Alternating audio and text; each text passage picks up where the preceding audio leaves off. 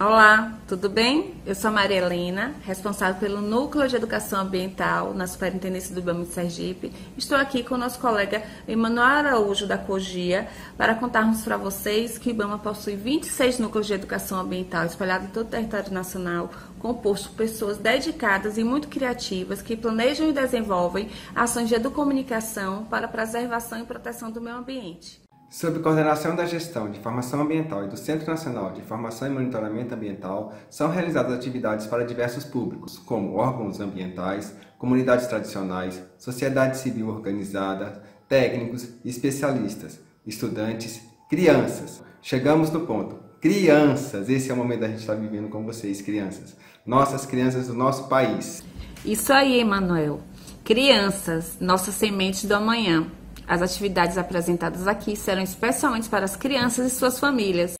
Essas atividades desenvolverão nas crianças competências, conhecimentos, atitudes e habilidades, contextualizados para sensibilizar, descobrir e fortalecer o compromisso com a proteção do meio ambiente na construção de sociedades sustentáveis. E aí, vamos lá? Fiquem agora com nossos convidados e com a programação lúdica da Semana do Meio Ambiente.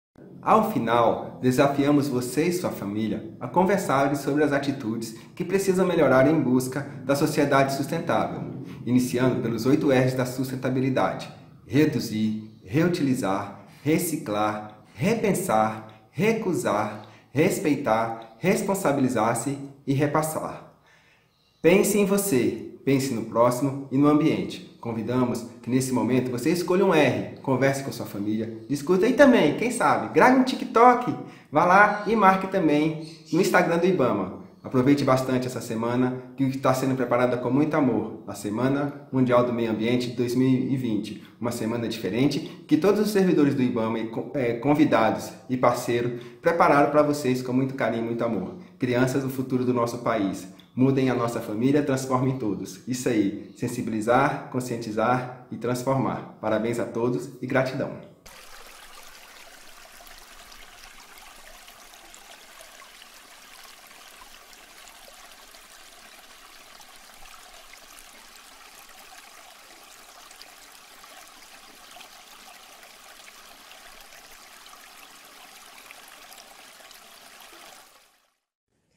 Olá, turma, tudo bem com vocês? Sou Aline Pinto, professora de Ciências do SESC Sergipe.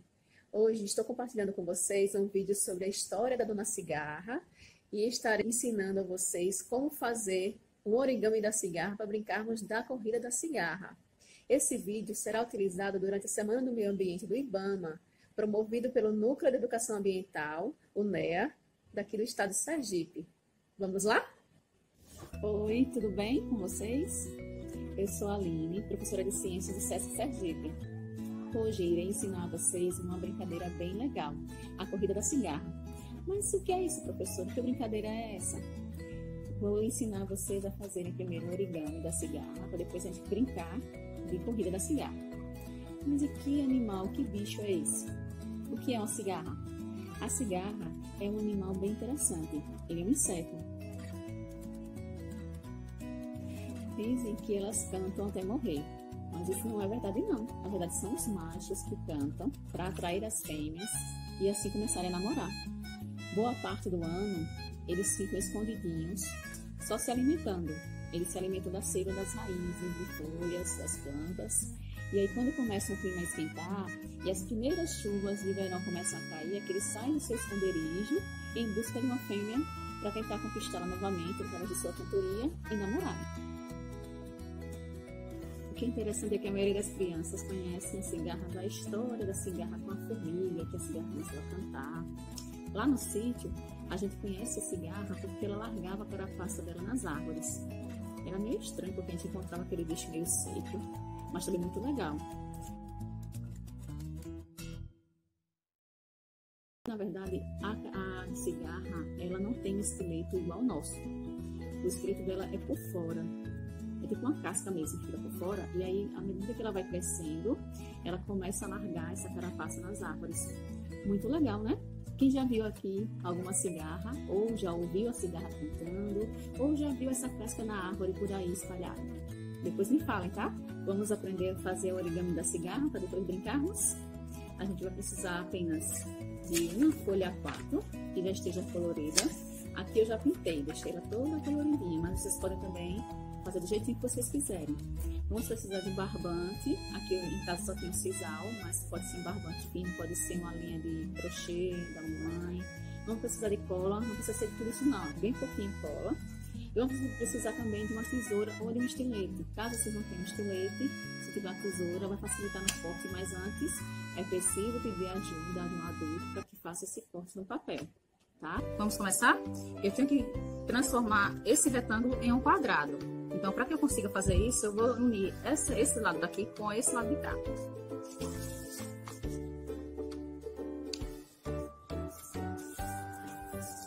E aqui a gente vai cortar com uma tesoura, uma régua, ou simplesmente um estilete, ou na mão, como posso fazer aqui agora, ó.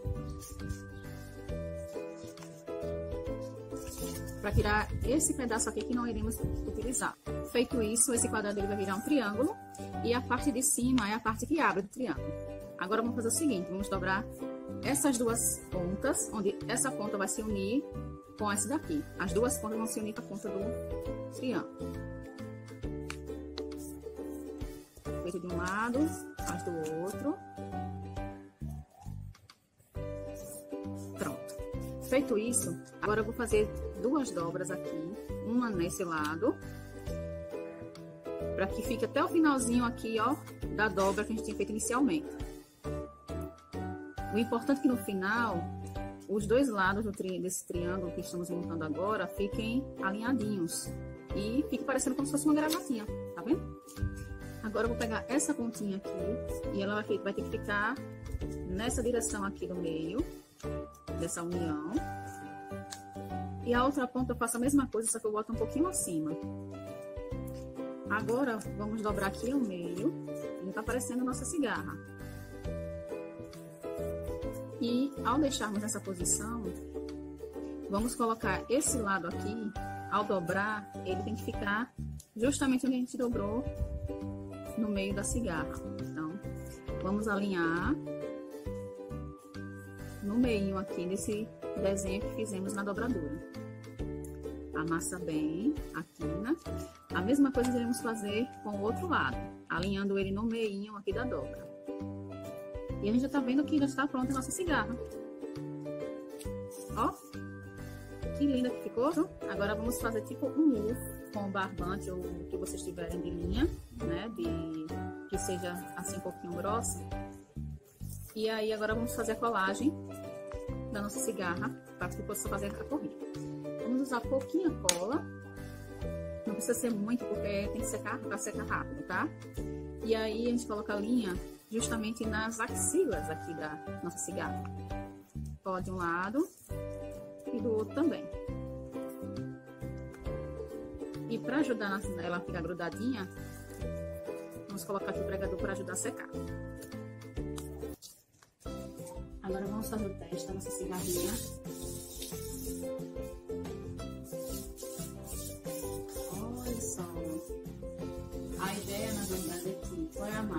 Às vezes estamos movimentando o barbante para baixo para cima, ela tende a escorregar no atrito do barbante, ó. Ela subindo.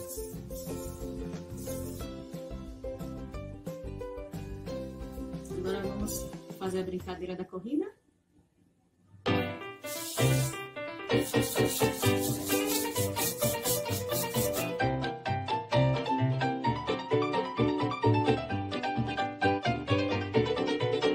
turma, tudo bem com vocês?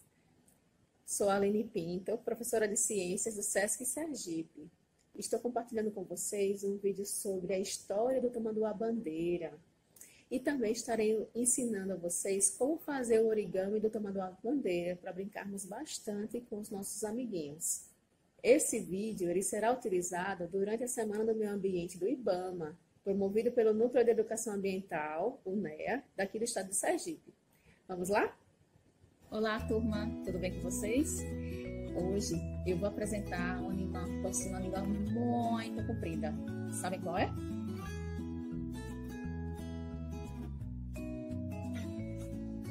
O tamanduá bandeira, isso mesmo. Esse carinha aqui, ele mora lá no interior do Brasil, no Cerrado. Mas calma, ele não tem língua comprida porque é fofoqueiro, não. Não, não, não, não. Ele tem língua comprida para que ele possa comer pequenos animais que vivem dentro da terra. Sabem qual é?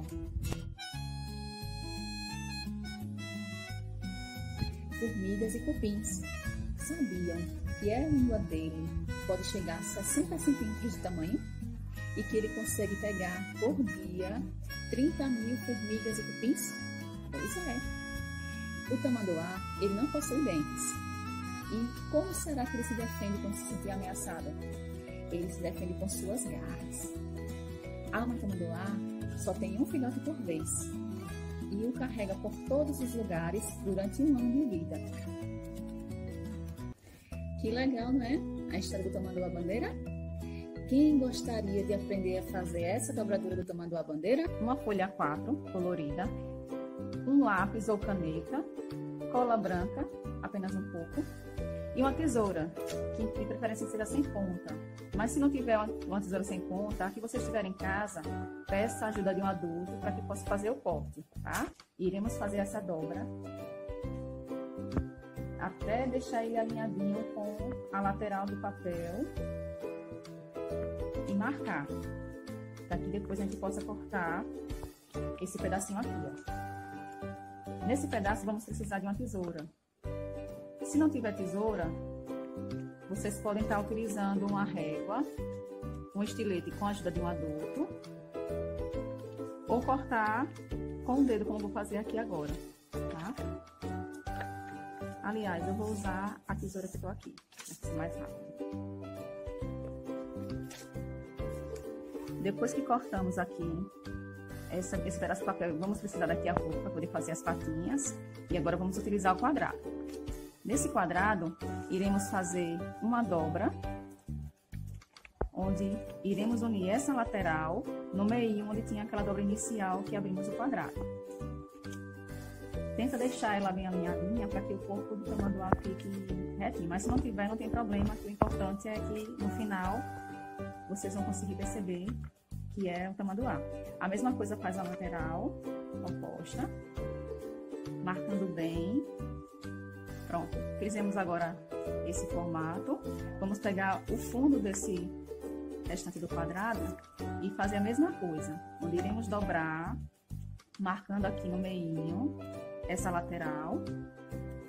Peça a ajuda do papai e da mamãe para que vocês consigam fazer juntos, tá? Fiz de um lado, agora vou fazer do outro.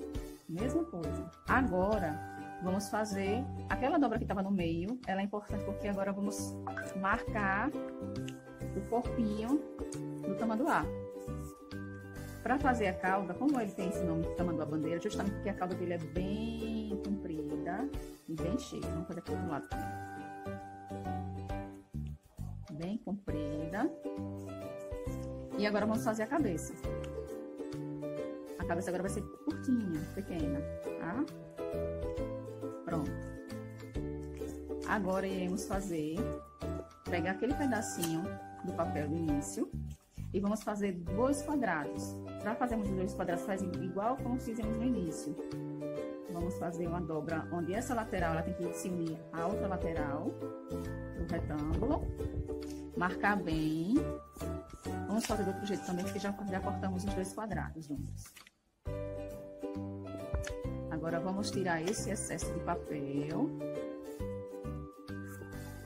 Vou cortar com as mãos, mas pode ser cortado também com a tesoura, para poder ajudar, a facilitar. Do outro lado, do mesmo jeito.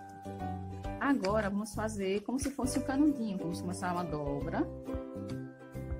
E assim a gente vai dobrando o papel até o final dele, para poder formar as patinhas.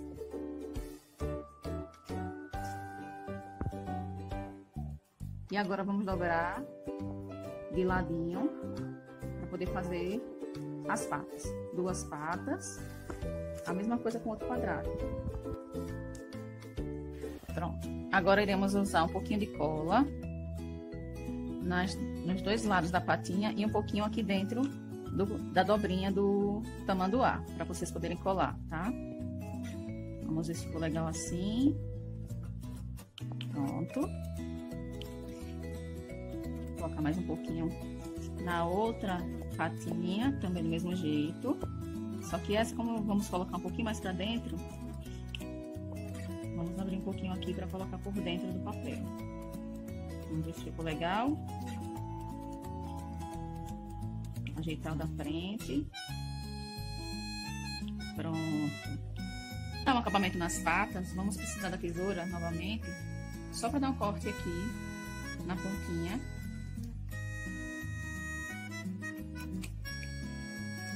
Da mesma forma do outro lado.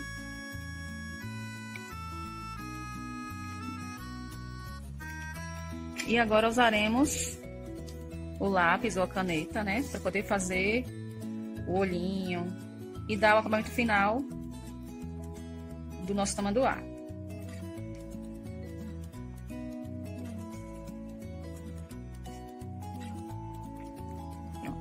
E mais outra coisa para poder fazer o acabamento seria fazer uma pinturinha aqui de preto, só para dar um, um detalhe nos pelos do nosso tamanduá aqui na cauda. Se vocês tiverem já com folha colorida em casa, fica legal também. Depois é só passar o lápis a, por cima para dar o detalhe dos pelinhos. E aqui está pronto o nosso tamanduá. Dois tamanduás, bandeira para vocês.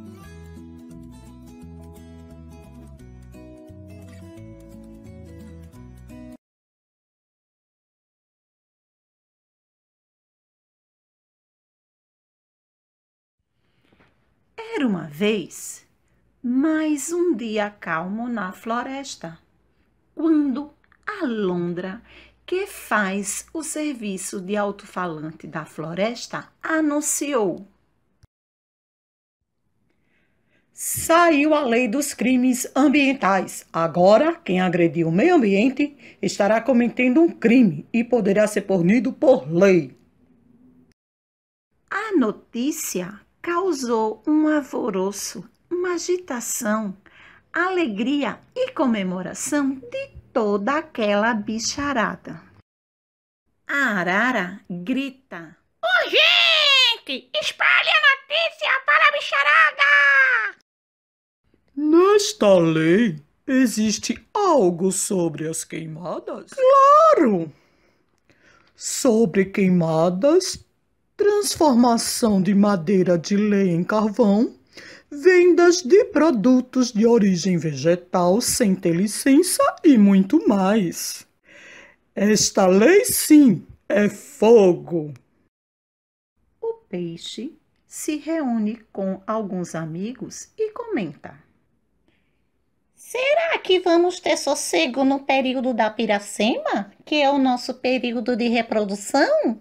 Responde o jacaré. Tomara. Muitas vezes alguns pescadores enchem tanto barco com peixes que quase não conseguem navegar. Completa tartaruga. É, nós sabemos que além de desperdiçar, leva em quantidade que causam desequilíbrio na natureza. O rinoceronte. Outro problema referente às águas é o desmatamento e a destruição da mata ciliar, aquela que fica nas margens dos rios. Serve de berçário para várias espécies e também protege contra as enchentes e erosões, além de servir de alimento para muitos peixes e outros animais. Voando um pouco mais distante, arara azul chega a outra floresta e dá a notícia. A capivara, com seu jeitão de quem não está nem aí, não acredita que seja verdade e fala: Alô, amigos! Temos novidades que vão ajudar a natureza. Agora, quem causar qualquer tipo de dano à fauna vai se entender com a justiça. Um mico-leão dourado se aproxima da arara azul e reclama. Sei não. Faz tempo que meus avós sonham com mais proteção e respeito. Hoje quase não existe outros da minha espécie. A arara azul, intrigada, responde: Senhor Mico, não se desespere. Se foi feita a lei, é porque todos passaram a perceber o quanto é importante a preservação da natureza para a vida do planeta. Veja o meu caso. Quase não existimos mais na natureza, mas estou confiante no futuro a partir dessa lei. Ânimo e esperança é o que devemos ter no futuro. Que nada! Várias vezes se falou sobre isso. Eu é que não me esconda para ver se não vou parar numa panela grande.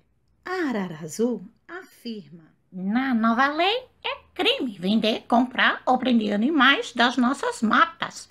Quem fizer isso sem a devida permissão das autoridades competentes estará cometendo crime. E tem mais: a ouvidoria Linha Verde do Ibama vem realizando um trabalho sério e eficiente com cidadãos que cuidam do meio ambiente e denunciam os maus tratos à natureza. Enquanto isso, na ouvidoria do Ibama, surge uma conversa entre o senhor Juvenal e a atendente da ouvidoria Linha Verde. Linha Verde do Ibama, atendente Penélope, bom, Bom dia. dia, meu nome é Juvenal e eu gostaria de saber se é verdade que agora existe punição para quem maltrata o meio Sim, ambiente. senhor. Agora existe a lei dos crimes ambientais, que define o que é crime contra o meio ambiente e qual a punição para quem não obedecer à lei. O senhor gostaria de receber gratuitamente um exemplar da publicação da lei dos crimes ambientais? Agora é que não deixo mesmo ninguém maltratar as árvores e os bichos. E vou ensinar a minha comunidade como é importante proteger a natureza. Obrigado, A Penélope. linha verde do Ibama agradece seu contato. Próximo dali, dois botos cor-de-rosa espiam uma ação do Vocês estão Ibama. na malha da lei. O barco está fora do tamanho autorizado, tem mais peixes do que o permitido e está no período da piracema. Já na estrada deserta dentro da mata, um caminhão carregado de madeiras é parado por fiscais. Uma árvore comenta com a Amigo Cedro, este caminhoneiro está encrencado. Ele está carregando madeira protegida por lei.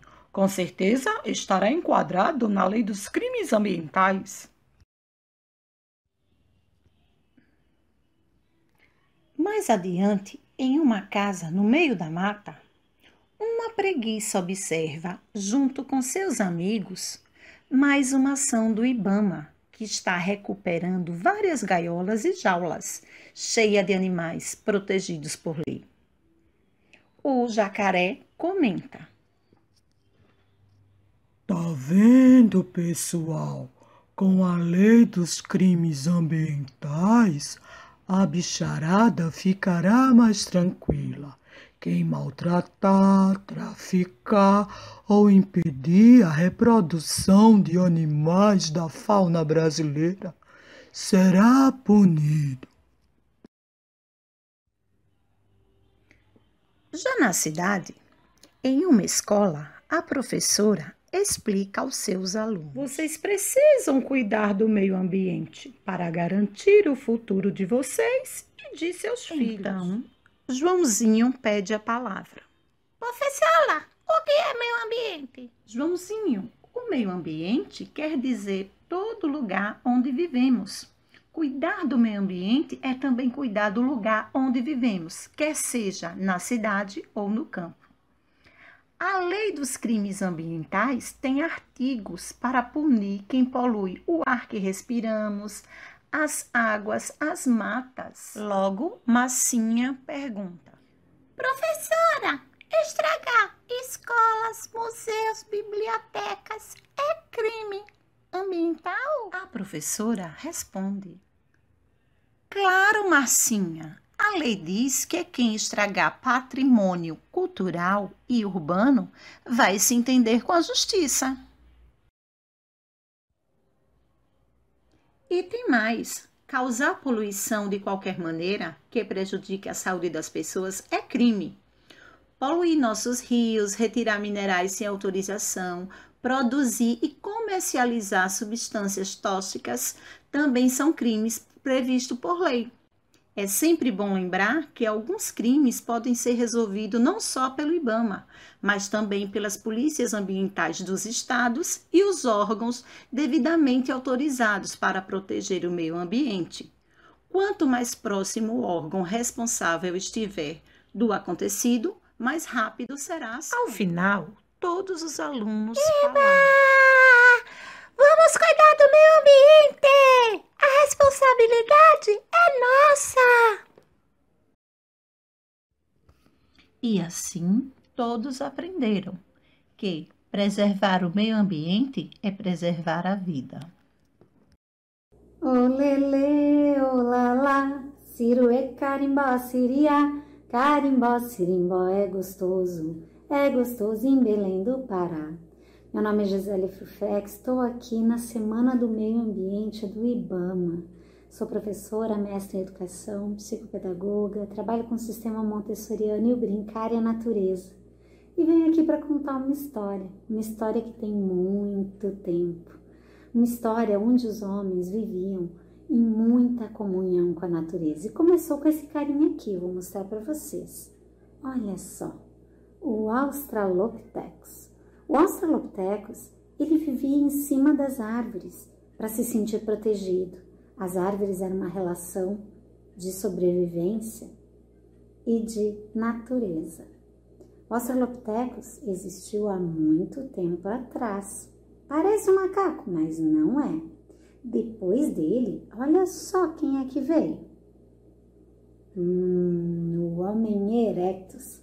Ele ficava um pouco mais ereto do que o Australopithecus e ele já tinha algumas habilidades com a pedra lascada. Olha só, com as pedras ele descobria que ele podia construir ferramentas, instrumentos e tinha possibilidade de buscar alimentos de diversas formas. Depois dele, eu vou mostrar para vocês quem veio. Esse carinha aqui. Este era o Homo habilis é porque ele teve uma descoberta e tanto. Olha o que ele descobriu. Teve a habilidade de descobrir o fogo. E aí foi a descoberta fantástica, porque daí ele começou a fazer fogueiras e pôde morar em cavernas. Com a sua habilidade, ele já começou a construir alguma coisa de vestuário, mudar a sua alimentação, cozer os alimentos sempre em harmonia com a natureza. Depois dele veio o homem de Neandertal. Este cara aqui, ó, ele tinha o polegar opositor. Ele tinha habilidades mais desenvolvidas e fez com que ele pudesse já construir adereços, fazer as famílias, as relações, cantar, dançar, a linguagem toda estava se desenvolvendo aqui. Eles gostavam de pintar, de fazer muitas descobertas. Aí, olha só, esse é o cara, é o Homo sapiens. Esse cara aqui, ele conseguiu já descobrir com seu cérebro em desenvolvimento que ele poderia aproveitar muito, se relacionar muito com a natureza. E o grande desafio dele era seguindo o processo de evolução, cuidando do ambiente que ele estava. Então, né? Quais serão as diferenças deles todos? O Australopithecus, olha só a cabecinha dele, bem curtinha aqui e comprida atrás, porque ele tinha essa parte aqui, ó, põe a mão, o cérebro reptiliano, que é onde moram os nossos instintos, essa parte aqui da frente ele ainda não tinha, era reta, ó, tá vendo? Aí com o passar do tempo, olha como os crânios foram mudando, tá vendo? Ficou um pouquinho mais curto aqui, Depois, é, um pouquinho mais curto ainda. E olha a testa ali aparecendo. E aí, olha, querem ver a do Homo sapiens como é que ficou? Olha lá. Olha a testa. Conseguem ver? Toda essa parte aqui, ó, onde fica o neocórtex, onde fica o raciocínio, o pensamento, já amplamente desenvolvido, como nós. Coloquem a mão aqui, ó, onde ficam os nossos pensamentos. E ainda temos aqui a parte de trás junto. Então, a descoberta e a caminhada entre o instinto e a inteligência é muito importante. E desse lugar aqui, junto com o Homo sapiens, passado muitos e muitos anos, nós vamos parar num lugar, que é um lugar chamado cabelo seco. E de cabelo seco, eu trouxe alguns objetos nessa sacola para descobrirmos que lugar é esse. Eu vou pegar aqui um objeto. Vamos lá ver. Olha só, é uma esfera, parece até uma bola. Que interessante. Ai, é uma textura tão diferente. É áspero. Tem um cheiro parecido com cheiro de terra. Tem um orifício, olha bem. Este orifício tem algo aqui dentro. Tem até som. O que será que tem aqui dentro? Eu vou tentar descobrir. Vamos ver o que tem aqui. Olha só, outro objeto parecido com esse, mas está aberto. Olha como é dentro. Tem algumas ranhuras. É diferente. O que será que tinha aqui? Vamos ver o que mais tem. Está tão levinho agora. Hum. que será isso? Vocês querem ver? Olha, é uma semente. Ela tem lados. Que diferente. O que será que tem aqui dentro? Eu vou descobrir. Vamos ver. O que mais tem aqui? Olha só, eu já comi isso. E vocês? É uma castanha. Castanha do Pará. Isso, cabelo seco fica no Pará. Esta é a castanha que estava aqui dentro, no invólucro da sua semente, que estava aqui dentro, no ouriço da castanha do Pará esse ouriço, que vem da castanheira, que é uma árvore enorme, muito grande, uma árvore centenária, muito bela. E cabelo seco cresceu em volta das castanheiras, próximos de um encontro de rios, do rio Tocantins. E quem será que mora lá? eu conheci uma menina, uma menina chamada Caroline. A Caroline era uma afro-indígena. Tinha os cabelos escuros como a noite. Quando mergulha no rio e sai, seu cabelo seca rapidamente e por isso, pelas pessoas que moram em Cabelo Seco, o bairro ganhou esse nome. Mas lá em Cabelo Seco, além de comer castanha do Pará, açaí, eles também gostam de fazer outras coisas com o que encontram da natureza. Por exemplo, eu vou mostrar para vocês. Olha isso. É de ouriço, de castanha do Pará. É um instrumento. Como será que ele chama? Isso mesmo, a natureza sempre nos dá dicas. Olha só. Ah, go, go. Ah, go, go. O A é agudo. O O é grave. Este é o agogô, um instrumento musical afro-indígena feito de ouriço de castanha do Pará. Mas eu vou cantar para vocês uma canção que eu aprendi com a Caroline e com o mestre Zequinha. Vocês querem aprender comigo? Vamos lá. Ela conta a história de cabelo seco. Vamos conhecer um pouquinho mais? Vem! E agora eu vou mostrar para vocês, com ouriço da castanha do Pará, a canção, a canção de cabelo seco. É mais ou menos assim.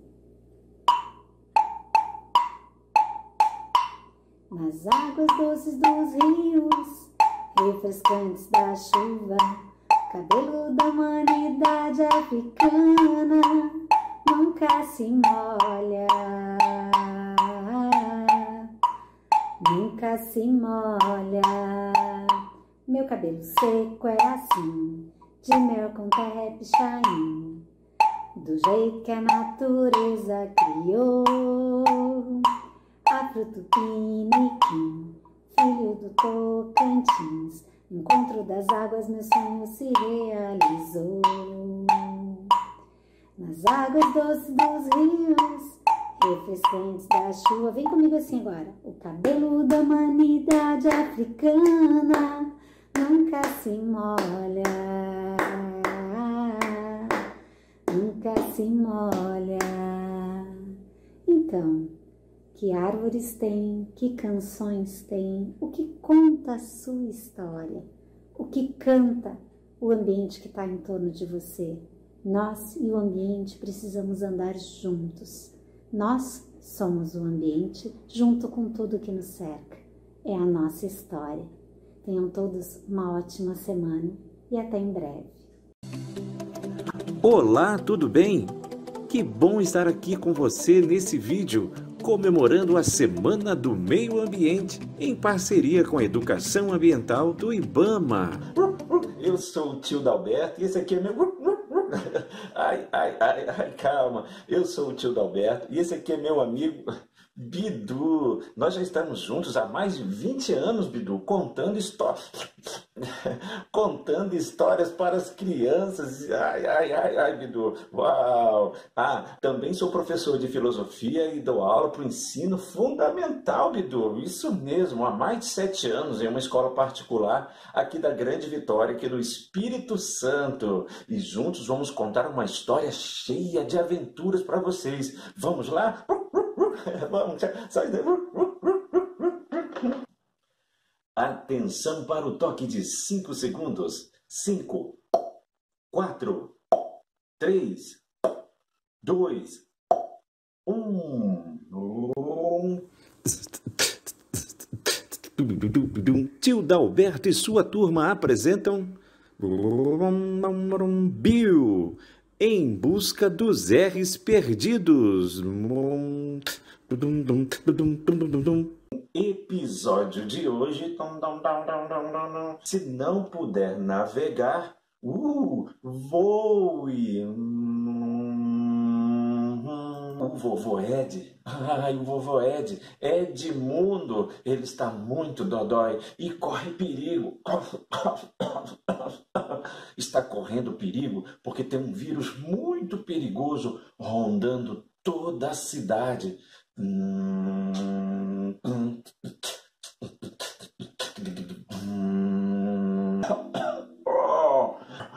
estou muito dodói, muito dodói. Eu preciso de ajuda. Toda essa poluição está acabando comigo. Lembro-me muito bem dos rios limpos, das florestas, e agora temos que se proteger usando essa máscara. Mas esse tal de doutor relaxo, doutor relaxo, hum, doutor relaxo, o R que não sustenta. Uhum. Oh, vovô, o que ele está fazendo? Oh, ele está escondendo os R's. Escondendo os R's? Que R's? Os R's da sustentabilidade. Uau, mas vovô, o que ele fez? Oh, ele está escondendo esses R's. Oh, as pessoas então não estão se lembrando mais da importância de cada um deles. Precisamos. Precisamos fazer alguma coisa antes que seja tarde demais. Uau! É mesmo, vovô. E o que vamos fazer? Hum, precisamos ter uma ideia. Oh, é verdade. O vovô Ed, Edmundo, está falando então que esse tal de doutor relaxo Hum, o R que não sustenta está escondendo os R's da sustentabilidade. Hum, hum. Até que o vovô teve uma ideia. Oh, eu tive uma ideia. Oh, vou falar com Bill. Bill? É, Bill, biodiversidade. Eu creio que ele vai poder me ajudar. Tenho certeza que irá conseguir recuperar os R's que andam perdidos. Cof, cof, cof, cof. Então, assim, o vovô foi falar com o Bill. Oh, Bill, que bom que você veio. Eu estou precisando muito da sua ajuda. Toda essa poluição tem acabado comigo. Cof, cof, cof, cof. Você vai me ajudar a encontrar os R's que andam perdidos, foram esquecidos. Oh. O vovô contou tudinho para o Bill. Uau, e pediu ajuda dele. E será que o Bill vai conseguir?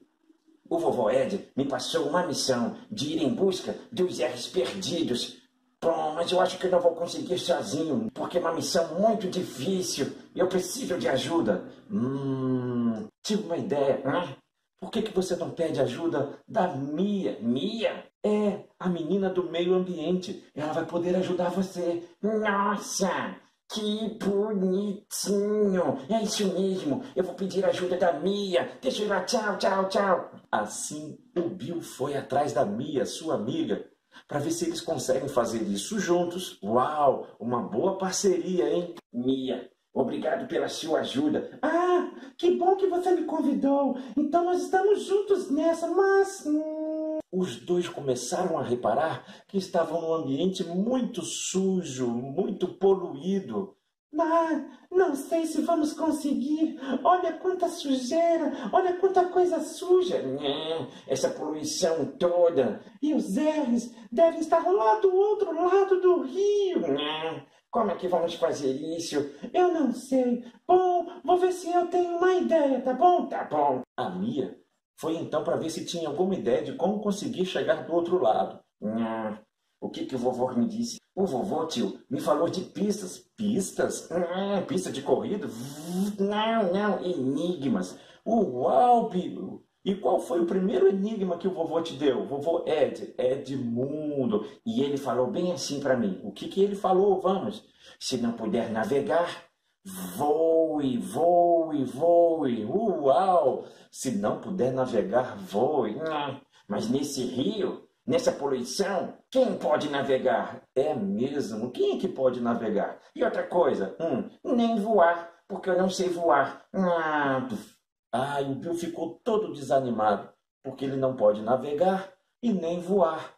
Hum, o que ele vai fazer? Ah, tio, me deu uma sede. Enquanto o Bill estava lá pensando, sabe quem apareceu do nada? Ah, o doutor Relaxo. Oh, oh, oh, oh, oh.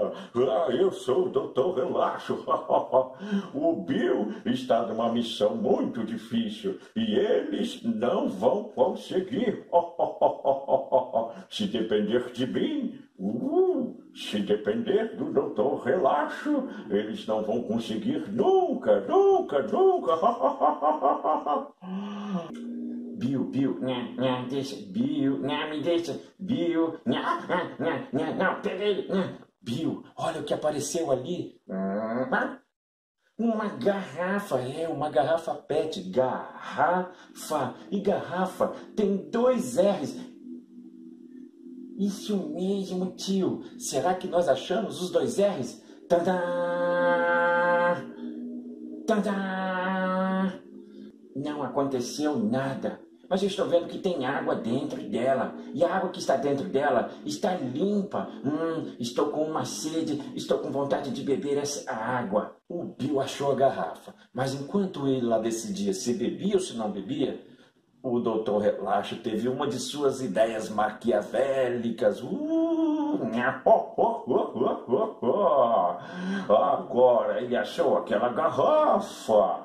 Tem água pura, mas eu vou lançar um gás ganancioso para que ele não divida aquela água com ninguém, com ninguém, oh, oh, soltando gás.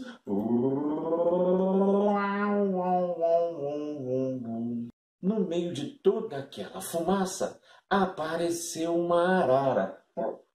Oh, oh, essa fumaça, ai, esse gás está me deixando meio tonto. Ai, eu estou com sede. Olha, aqui tem uma água, ah, mas eu não consigo abrir. Eu preciso de ajuda para beber essa água. Ah, com toda essa fumaça. E com sede eu não consigo voar. Uau! A arara estava com sede e estava meio tonta por conta de toda aquela fumaça. Tadinha da arara! Está com sede e não consegue voar no meio dessa poluição, desse gás ganancioso. O que vamos fazer? Uh, o que vamos fazer só tem um jeito. Hum, a melhor ideia é abrir a garrafa e dar água para ela. É verdade, vamos fazer isso, vamos. Ei, ei, ei, ei! gritou Bill de longe. Não vamos dar essa água, não. Mas por quê? Mas por quê, Bill? Mas por quê? Esta água foi eu que achei. Então eu é que vou beber, eu é que vou beber. Ela é minha, ela é minha, ela é minha. Ah, eu não vou dividir com ninguém. o meu plano de soltar o gás ganancioso está dando certo. já era, Arara, já era. eu falei com Bill que a gente precisava sair com máscara na rua e agora a gente está sem a máscara. Olha só, estamos envolvidos nesse gás ganancioso e ele não quer dividir a água com ninguém. Bill, você precisa vencer isso e dividir a água. Divide, divide, divide. A Mia também ficou afetada pelo gás ganancioso lançado pelo Doutor Relaxo. E aí, o Bill, será que ele vai dividir a água que ele encontrou? Ou vai deixar a sua amiga Mia, Mia do meio ambiente, passar todo esse sufoco? E a Arara, será que vai sofrer os efeitos? Está lá, não consegue nem voar? Bill, Bill, lembra, lembra do, lembra da pista, Bill, lembra, se não puder navegar, voe, voe.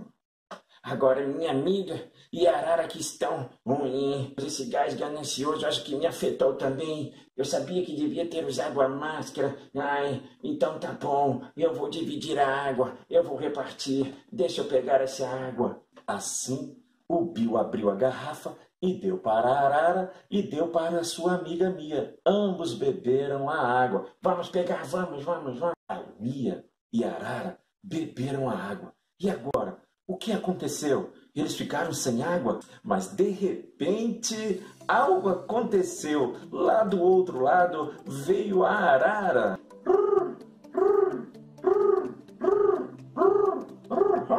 Um R! Estou trazendo um R! Outro R! Olha aqui! Dois R's! Dois R's! Nossa! Que bonitinho! A Arara trouxe dois R's e eu agora também estou super, hiper, mega bem! A Arara encontrou dois R's. Calma lá, tio, já parou para prestar atenção? Parei. A Arara. A Arara também tem dois R's. Quando você deu a água para ela, ela renovou as suas forças e voou. Isso, voei. Obrigado, obrigado pela água, obrigado. Quando você compartilhou, você me ajudou. Ah, obrigado, obrigado, obrigado. Mas o que são esses dois R's? Esses dois R's significam refletir e reduzir. Como assim? refletir e reduzir. Vamos, Arara, explique. A Arara então explicou para eles o que significavam esses dois primeiros R's: refletir e reduzir. Oh, vocês lutaram contra o gás ganancioso do Dr. Relaxo. Enquanto vocês lutavam, vocês pensavam, refletiam sobre as consequências, sobre o impacto de cada coisa na natureza. E por isso, vocês refletiram o bem, o bem. Uau, refletiram o bem. Enquanto pensavam, deixaram de lado a ganância para ajudar o outro, para repartir e fazer o bem. E agora eu entendi. Quando a gente começou a refletir, logo começou a reduzir o impacto negativo na natureza, no meio ambiente, e o rio foi ficando limpo de novo. Assim, a arara ganhou forças para voar. Ela não pode navegar, mas conseguiu atravessar até o outro lado. Nossa, que bonitinho! Isso mesmo, parabéns, Bill e Mia. Vocês conseguiram, com a ajuda da Arara, encontrar os dois primeiros R's, que são refletir e reduzir. É isso mesmo.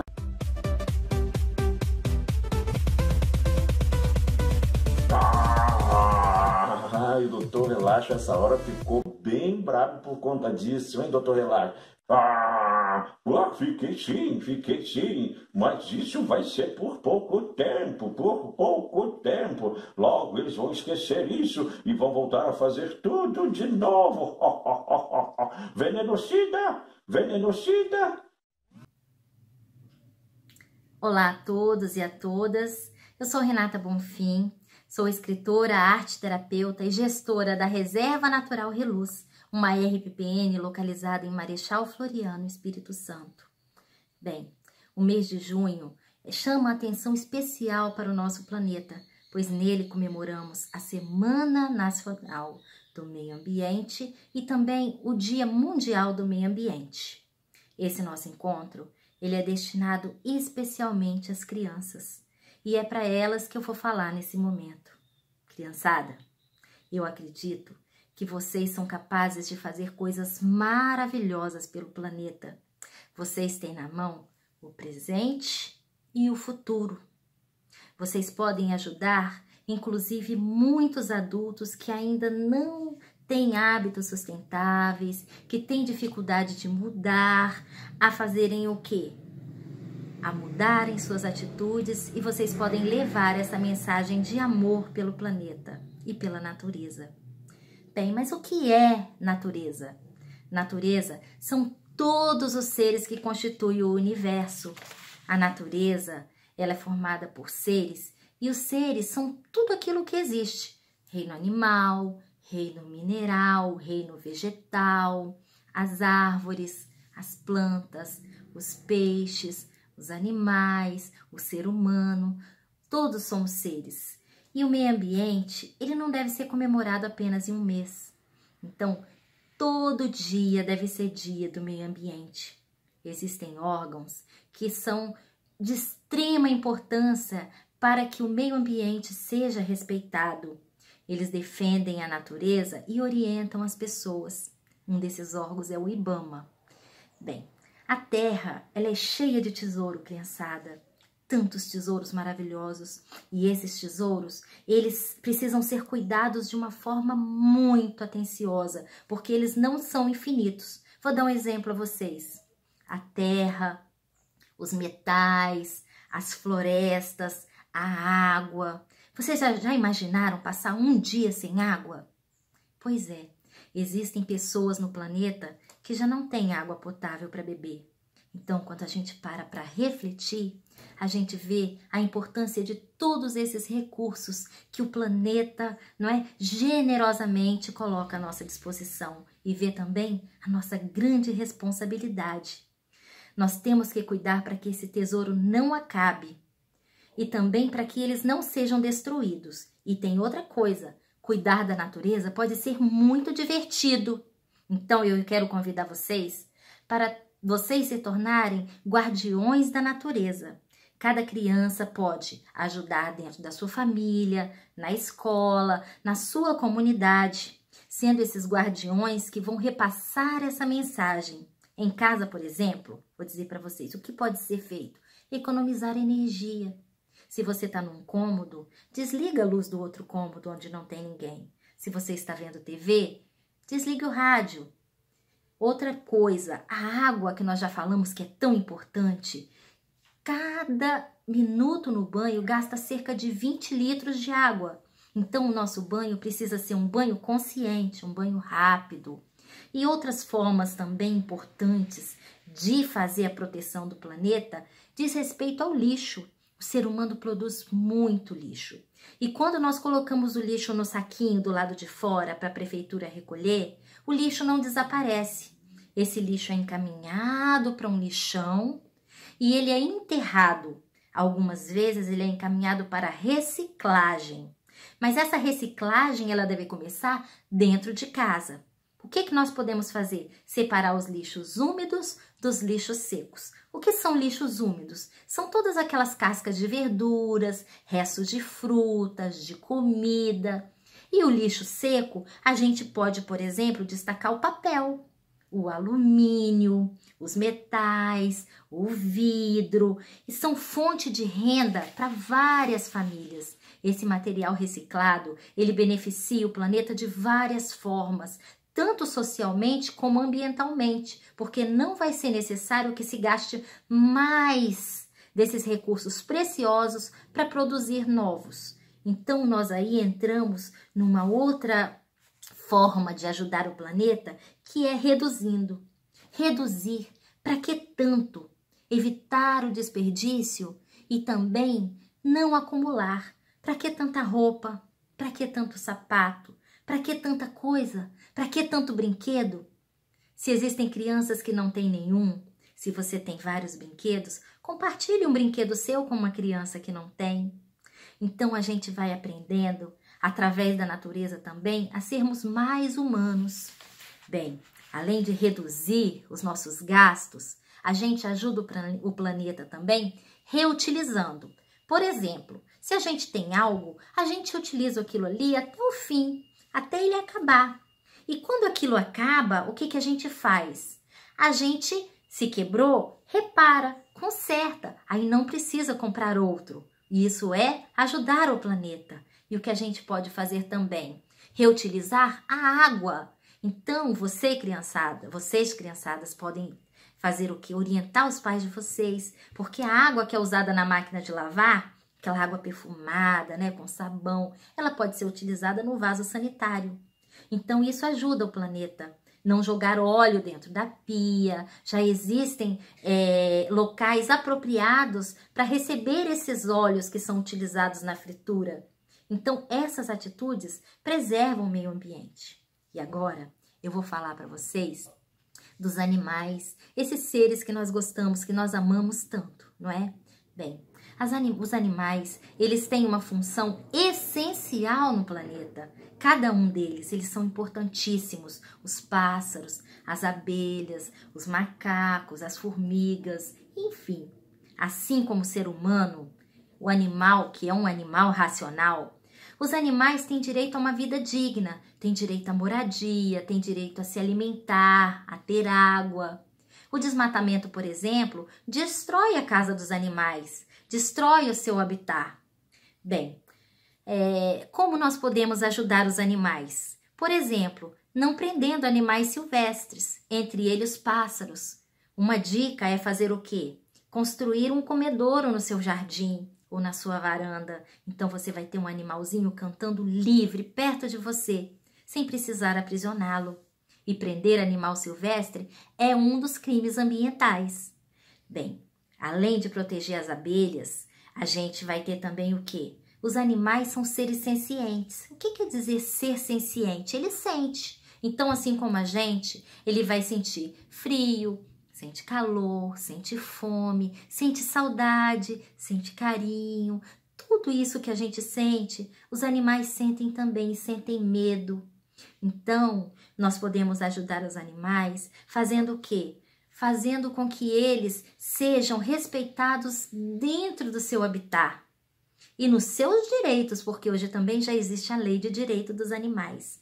Você pode, por exemplo, né, proteger os seres defendendo a árvore que vive na sua calçada, porque uma árvore, além de ser um ser, ela abriga vários seres. Uma árvore, ela refresca a cidade, ela diminui o barulho das cidades, ela enfeita a cidade com flores. Então, não é só uma reserva ambiental que pode ser verdinha e bonita e com, e com ar puro. A cidade também. Mas depende do quê? Depende das nossas atitudes, depende da nossa mudança de hábitos, hábitos que destroem a natureza, que maltratam os animais, devem ser acabados, devem ser excluídos e devem dar lugar a hábitos que gerem vida e que gerem paz dentro da cidade. Porque uma cidade com verde, com pássaros, é uma cidade muito mais bonita e muito mais pacífica. Bem, a lei de crimes ambientais, como eu falei para vocês, deve conhecida, ser conhecida por todos, mas deve ser também praticada. Então eu vou contar para vocês agora uma história, e é uma história verdadeira, porque eu vi. Eu vi uma borboletinha que mora lá na Reserva Natural Reluz. Essa borboletinha, o nome dela é Maria Liz. Maria Liz é amiga de todas as flores. Então ela voa, voa, ela vai na floresta, e ela é amiga também de uma outra borboletinha que se chama Ângelos. Então eles vivem ali na reserva ambiental Reluz. Vão nas flores, beijam as flores e fazem a polinização, levando o pólen de uma flor para outra flor. Aí, um dia desses, a Maria Liz falou assim: Ei, Ângelos, tudo bem? Vamos fazer um passeio pela floresta? E o Ângelos, lógico, topou. E eles saíram voando pela floresta. Enquanto eles voavam, eles viram, eles iam observando como a floresta é bonita, como a floresta é cheia de diversidade, de seres diferentes. Eles olharam, aí a Maria Feliz falou assim: Olha, Ângelos, ali tem uma bromélia, uma bromélia rara. Eles voaram até a bromélia, pousaram na bromélia e da bromélia eles foram para o pé de açaí, foram para Pameira Jussara, pousaram depois num pé de xaxim. E foram, mas de repente, enquanto eles estavam voando, eles ouviram um barulho no fundo da mata e ficaram curiosos e foram lá ver o que estava acontecendo. Foram, foram, foram, voando, voando, voando, voando. Mas o barulho era tanto, era Dona Cigarra Dona Cigarra gritando, gritando, gritando e anunciando uma novidade na floresta. Gente, gente, animais, despertem! Aprovaram a lei de crimes ambientais. Anunciava ela toda animada. Agora, destruir o meio ambiente é crime, crime ambiental. Bem, alegria, alvoroço, agitação total. E a arara azul aproveitou, foi, cortou o céu anunciando as boas novas. Bem, as árvores começaram a cochichar. Então, o pau-brasil, ele sorriu para um pé de mogno e falou assim: agora não vão mais nos, nos maltratar. E o IP exclamou: basta de queimadas e basta de desmatamento. Bem, a floresta estava em festa, mas a festa chegou lá na lagoa também a lagoa que fica lá pertinho do braço sul do rio Jucu.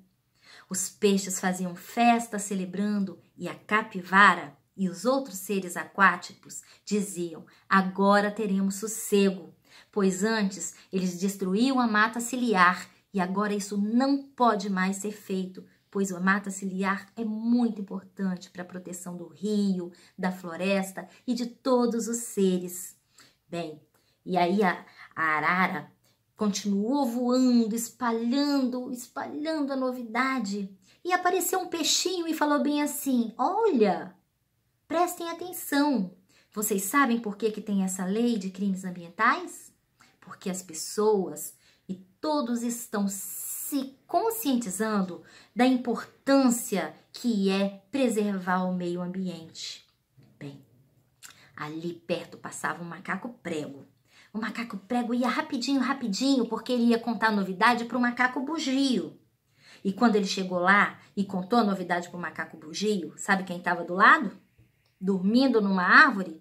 Dona Preguiça. Dona Preguiça estava lá descansando, descansando. E de repente ela escutou e falou assim: Ah, espreguiçou para lá e para cá e falou assim: ah, criaram a lei de crimes ambientais? Que bom, agora eu posso descansar. E ela voltou a dormir, não é?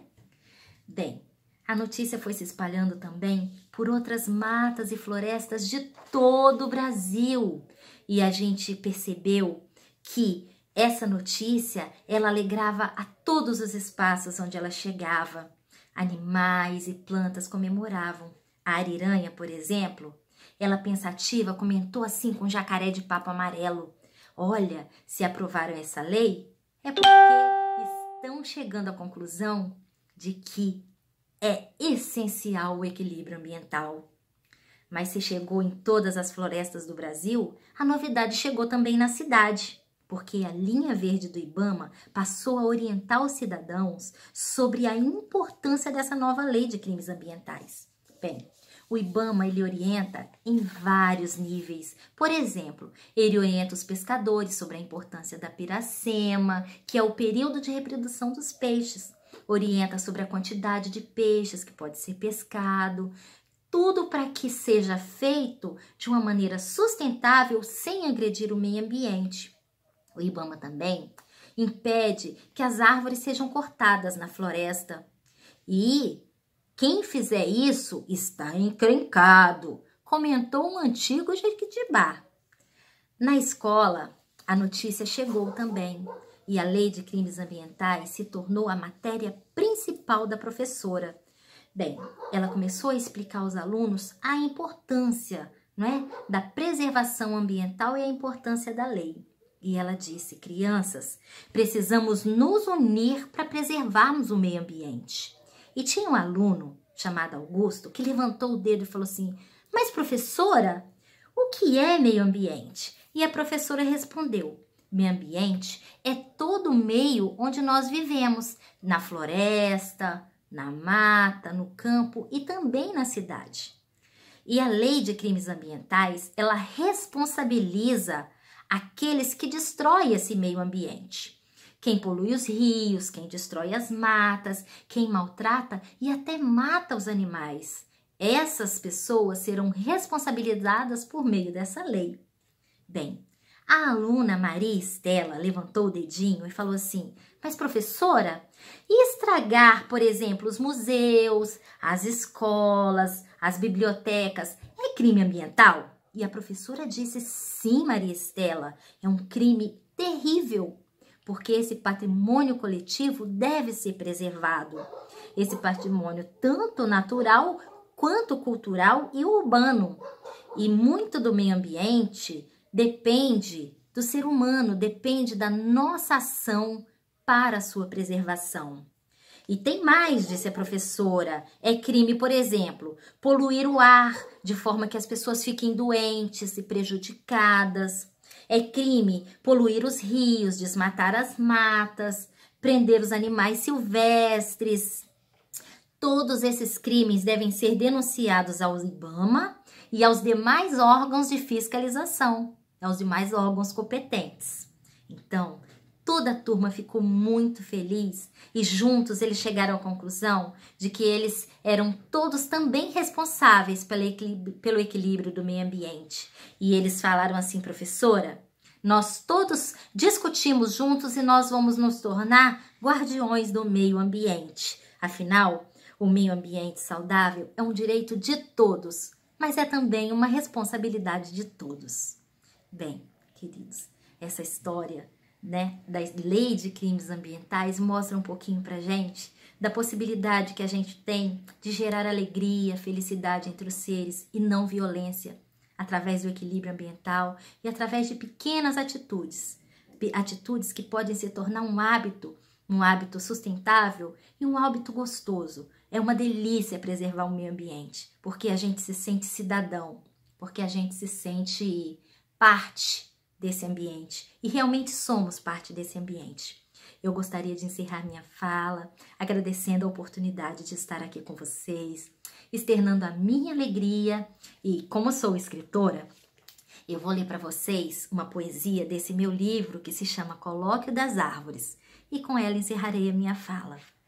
Esse poema se chama Os Olhos de Joaninha. Joaninha é uma gatinha que eu tenho, uma gatinha mesmo. Céu azul, clarinho, poucas nuvens. Apenas dois passarinhos brincam displicentes, voando sem compromisso, desenhando arabescos multicoloridos no espaço dos meus sonhos.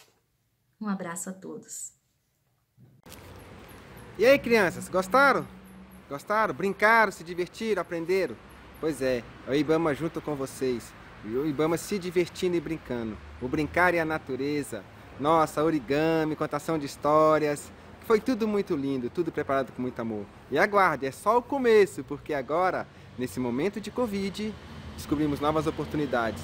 O Ibama vai estar cada vez mais presente na sua casa. Assim como, vocês estão vendo isso aqui, ó, uma ampulheta ampulheta construída pelos alunos da Escola Municipal Isolada Projeto Paranã, no interior do estado de Goiás. Uma ampulheta que foi feita com garrafinhas de água.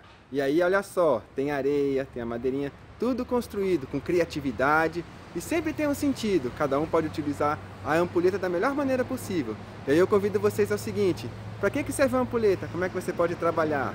E aí, e os 8 R's, como é que foram? As histórias, procurem cada vez mais se sensibilizarem e se conscientizarem para que possamos transformar assim, alcançarmos a nossa sociedade sustentável, melhor condição de vida, melhor trabalho.